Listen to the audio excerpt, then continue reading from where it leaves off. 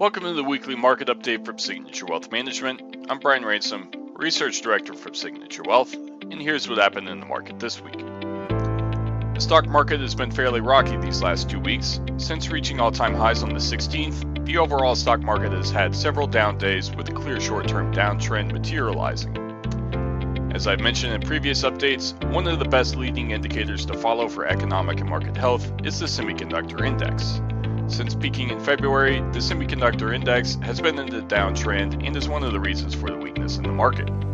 This index tracks the performance of several very large and important semiconductor manufacturers that are critical backbones of the 21st century economy.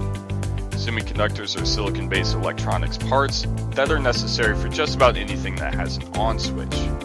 The development of the connected economy, thousands of semiconductor parts can be found in each smartphone you use, speaker you talk into, car you drive, and refrigerator you open. Any disruption to the semiconductor supply chain has widespread knock on effects across hundreds of industries worldwide. With the onset of the pandemic, we have seen such a disruption.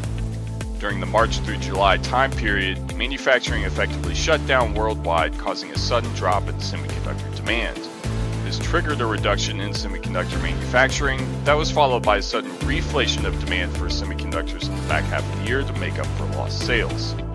Combine that with the massive rise in demand for consumer electronics during lockdowns, and you get an unexpected supply shortage for mission critical electronics parts.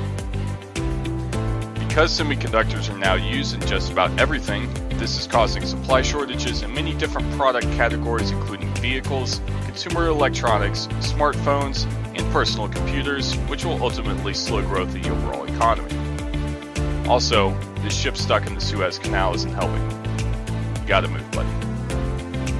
For more information on this topic or a variety of other topics, including market updates, financial planning, and wealth management, please visit our blog at signaturewmg.com slash blog, and don't forget to like and subscribe on YouTube.